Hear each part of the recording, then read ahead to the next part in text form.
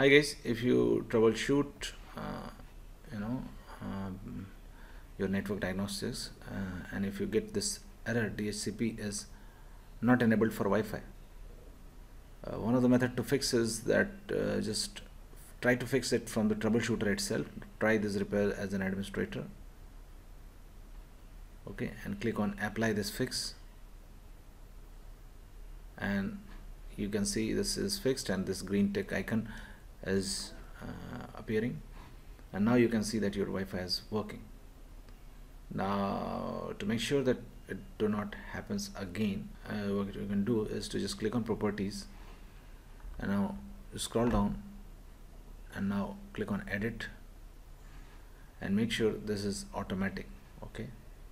Not manual it's automatic. Also one more thing just right click on the start button. Click on run and then type ncpa.cpl click on ok. And now right click on it. Click on properties. And now just select internet protocol version 4 TCP IPv4 and now click on properties. And now just make sure this is checked. Make sure this is also checked. Okay obtain an IP address automatically and obtain an DNS server auto automatically because DHCP is nothing but dynamic host configuration protocol and thus close the windows and your problem will never appear again. That's it guys. Please do like the video